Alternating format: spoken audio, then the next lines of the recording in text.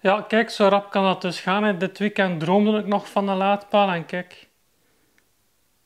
Ondertussen is hem geïnstalleerd.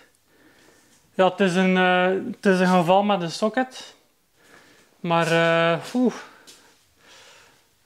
Draait dat? Wacht, hè. Ik ga even laden. Hè. Dus, de, ja, dus deze, de Energica, die kan maar 3 kW laden. Voordat ik uh, dat had, eigenlijk gisteren dus, uh, laadde ik uh, met dit.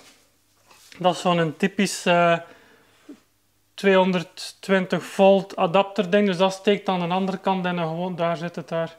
En een gewoon 220 volt stekker. En dit gaat dan naar type 2 en dan kun je, staat hij aan, ja, dan kun je, kijk daar staat zo een, een ledje op.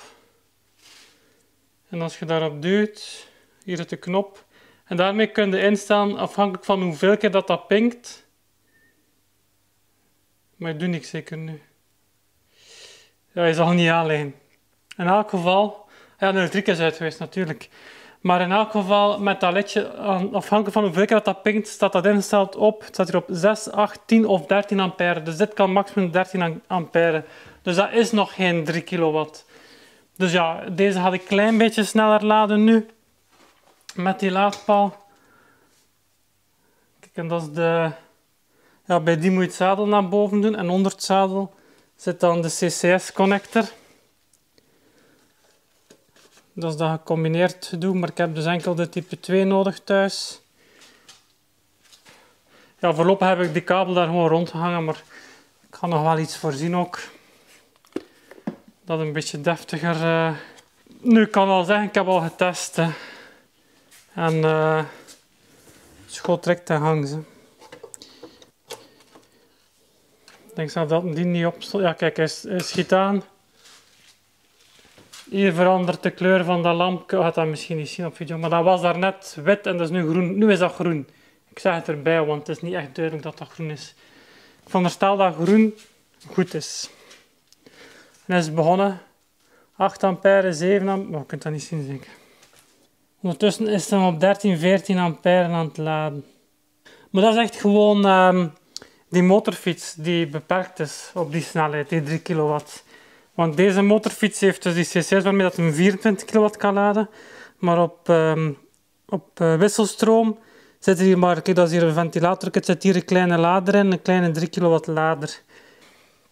Bij de Zero is het anders, daar heb je daar een 3 kW lader, daar een 3 kW lader. En dan kun je ook nog een keer als optie, hier normaal gezien een, eh, een, een opbergvak in, omdat daar geen echte tank in zit. Maar je kunt dat oppervlak ook eruit laten halen en nog een keer 6 kW erbij. En dan kun je op drie verschillende fasen tot 12 kW gaan laden. Nu, ik weet eerlijk gezegd niet of dat die paal, wat dat die paal gaat doen op de deze. Hier zit de stekker. Dus dat is enkel type 2. Daar zit geen CC's op. Ja, ik ga deze even moeten vrijgeven. Ja, ik zeg het hier voor thuis, het laden thuis heb ik dat niet nodig. Zo, een laadpaal. Maar het is voor de auto die eraan komt natuurlijk. Hè. Uh, ja, dat is de domste beslissing ooit. En de Zero heeft dat ook. Die twee knoppen, dat is voor uw richtingaanwijzers en dat is voor uw menu. Oké, nu is hij afgeslaan. Dan ga ik hem nu een keer testen in de, in de Zero. Ga ook geen contact opzetten, gewoon insteken.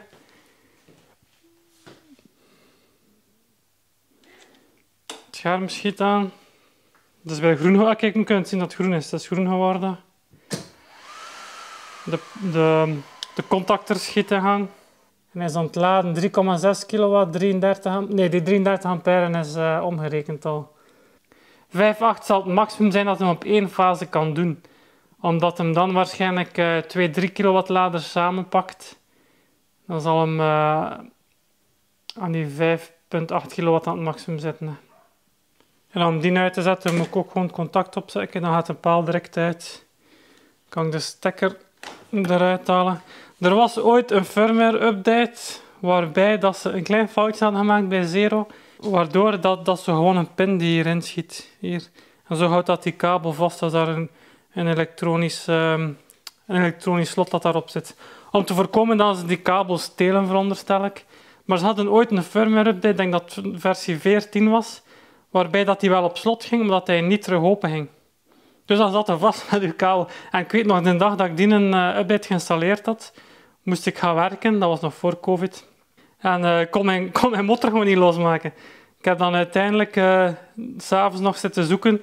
Zo 12 volt accu zitten loskoppelen, allemaal dingen zitten uitzoeken. Maar uiteindelijk heb ik dan wel ook ontdekt dat je, als je het contact vier keer of zo opzetten en uitzetten, dan ging hem toch ook vrij. Maar goed, vrij omslachtig. Gelukkig hebben ze het in de volgende update wel ook gefixt. Maar op zich, ja.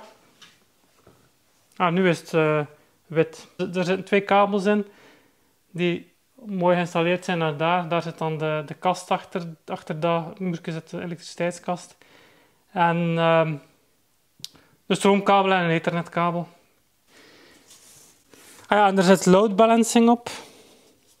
Dus um, als, uh, ja, als we de wasmachine opzetten uh, s'nachts, we hebben nog een dubbel, uh, we hebben nog een oude dubbele teller, hè, dus we hebben nog nachttarief en zo. Dus we kunnen de, op de motorfietsen kan ik instellen dat ze een charge delay, dus dat ze pas beginnen te laden na 10 uur of zo. En die gaat ook checken hoeveel dat er op het moment verbruikt wordt door andere apparatuur. En dan eventueel de, de, de verlagen dat hij afgeeft aan de auto's om, of de motorfietsen. Om te voorkomen dat, hij, dat de plank springt natuurlijk. En op termijn kunnen we ook uh, zonnepanelen eraan koppelen. Want die motorfietsen die, gebruiken die verbruiken op zich niet veel. Maar de auto gaat natuurlijk... En het is dan nog een... Uh, het is de EQV dat we besteld hebben. Dus te zien dat graag uh, de elektriciteit erdoor jaagt. Dus uh, ja, ik denk dat er wel zonnepanelen gaan komen. Plus dat we ook in een situatie zitten waarbij dat de auto vaak overdag nog thuis staat. Voor ons is dit ideaal, zeker als er zonnepanelen opkomen. Juist omdat we smiddags staat een auto terug thuis, kan hij de rest van de dag aan zonne-energie laden als het gewoon weer is.